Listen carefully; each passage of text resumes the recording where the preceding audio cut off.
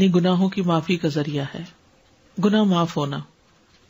हदीस में है कि आपने फरमाया, जिसने गुसल किया, फिर जुमे के लिए हाजिर हुआ, फिर उसके मुकद्दर में जितनी नफल नमाज़ थी पढ़ी, यानी मस्जिद में आके मस्जिद के नफल पढ़े, वैसे पढ़े, फिर खामोशी से खुतबा सुनता रहा, ताकि खतीब अपने खुतबे से फारिग हो गया, फिर उसके साथ नमाज़ पढ़ी, उसके इस जुमे से लेकर दूसरे जुमे तक के गुना बख्श दिए जाते हैं, और मजीद तीन दिनों के भी। रसूल अल्लाह वसल्लम ने फरमाया, जिसने जुमा के दिन गुस्ले जनाबत किया, फिर नमाज़ के लिए चला गया तो गोया उसने एक ऊँट की कुर्बानी की। और जो शख्स दूसरी घड़ी में चला तो गोया उसने एक गाय की कुर्बानी की। और जो तीसरी घड़ी में चला तो गोया उसने एक सींग वाले दुम्बे की कुर्बानी की। और जो चौथी घड़ी में चला तो गोया उसने एक मुर्गी की कुर्बानी की। जो पांचवी घड़ी में चला तो गोया उसने एक अंडा अल्लाह की राह में दिया। और जब इमाम खुतबे के लिए निकल जाता है तो फरिश्ते ज़िक्र सुनने के लिए हाजिर हो जाते हैं। यानी वो लिखना बंद कर देते हैं। ये एक्स्ट्रा रिवॉर्ड है नमाज़ वगैरह के अलावा सिर्फ़ जल्दी जाने का रिवॉर्ड है ये। फरिश्तों का हाजिरी लगाना। क्योंकि फरिश्ते ये हाजिरी लगाते रहते हैं, जब इमाम खुतबे के लिए निकल जाता है तो वो अपने दफ्तर लपेट देते हैं और ज़िक्र को, यानी खुतबे को गौर से सुनने लगते हैं। जुमे के लिए जाने वाले कदमों के लिए खुशखबरी। अबाया बिन रिफा कहते हैं कि मैं जुमा के लिए जा रहा था। कि रास्ते में अबू अबस रज़ी अल्लाह अनु से मेरी मुलाकात हुई। तो उन्होंने कहा कि मैंने नबी सल्लल्लाहु अलैहि वसल्लम को फरमाते हुए सुना कि जिसके दोनों कदम अल्लाह की राह में गुबार आलूद हो गए, अल्लाह उसे दो पर हराम कर देगा। हर कदम पर एक साल के रोज़े और क्याम का सवाब।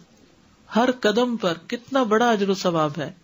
जिसने जुमा के दिन गुसल किया और कराया, अव्वल वक्त में आया, खुतबा में शुरू से हाजिर रहा। पैदल चलकर आया, सवार होकर ना आया। यानी ऐसी जगह भी होती है ना कि जहाँ पर मस्जिदें बहुत दूर नहीं होती है मौसम इतने सख्त नहीं होते।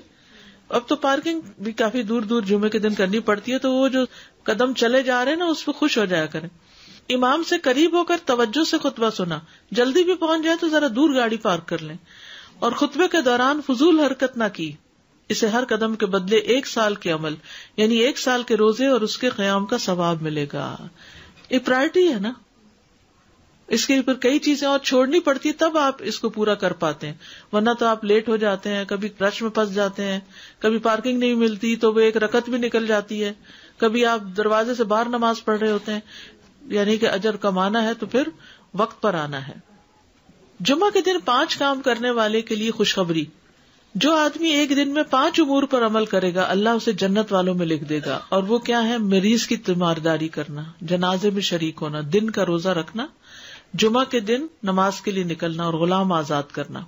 अब इसमें यह कि ये पाँच काम जुमे के दिन ही हो सकते हैं। और लेकिन जुमे के दिन का अकेला रोजा रखना मना किया गया? यानी अगर किसी का जुमेरात के साथ का, इकट्ठा या हफ़्ते के साथ का रोजा है, कोई कजा रख रहा है या वैसे ही कोई कफारे वगैरह के भी रख रहा है अच्छा उस दिन सदका खैरात करना भी आम दिनों के मुकाबले में ज़्यादा अजर सवाब का बायस है। तो इंसान जुमे के दिन की ना कुछ इस तरह की प्लानिंग करे कि उस दिन खास सदका भी करे और नहाए धोए भी और सारी जेबुजीनत और फिर तैयार हो और घर भी साफ़ सुथरा करे। एक एहतमाम नज़र आए कि आज जुमा का दिन है।